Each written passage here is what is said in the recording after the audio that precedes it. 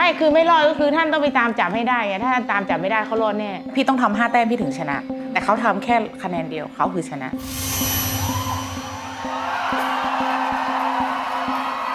เด็กมาแรก ๆ เลยไม่เป็นเลยต้องหัดให้ทำแบบเนี้ย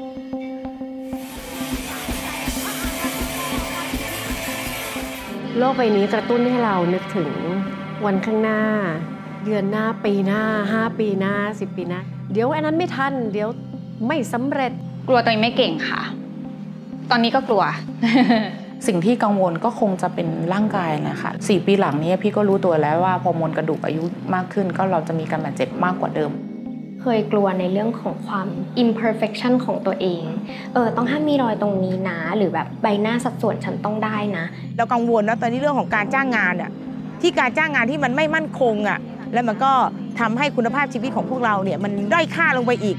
พอเราทำงานตรงนี้เนาะมันก็อาจจะตามมาด้วยความกดดัน หรือว่าการแบบแข่งขันแบบที่เราไม่ได้ตั้งใจเองด้วยก็ตาม ถ้าถ้าเราเทคตรงนั้นมามากเกินไปกลัวว่าเราจะลืมความสุขในสิ่งที่เราทำอยู่ แม่กลัวว่าแม่จะพากลุ่มของแม่ไปไม่รอด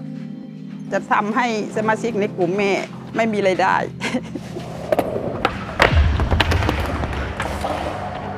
เป็นไรค่ะ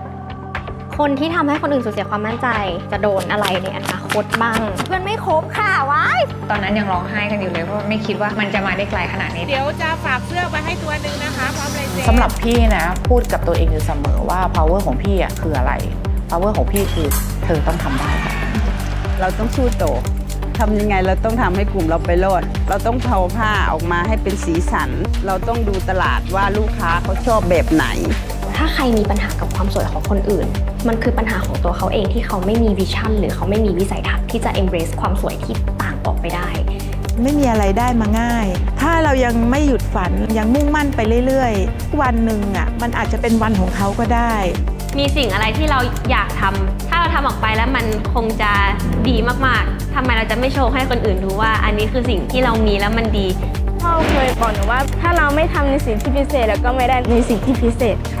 เป็น คนที่ล้มมาประมาณร้อยล้านครั้งแล้วเรารู้สึกว่าเดี๋ยวมันก็จะมีรอบรอบที่ร้อยล้านหนึ่งครั้งร้อยล้านสองครั้ง ก็ทำลงไปเลย คืออนาคตเราไม่รู้ว่ามันจะต้องเกิดอะไรอะค่ะเราวางแผนได้แต่บางทีมันอาจจะไม่เป็นไปตามแผนถ้าเราไปเครียดเกินมันอาจจะกดดันวันนี้ทำให้วันนี้เราไม่มีความสุขเพราะวันข้างหน้าเราไม่รู้ว่าเราจะไปถึงไหม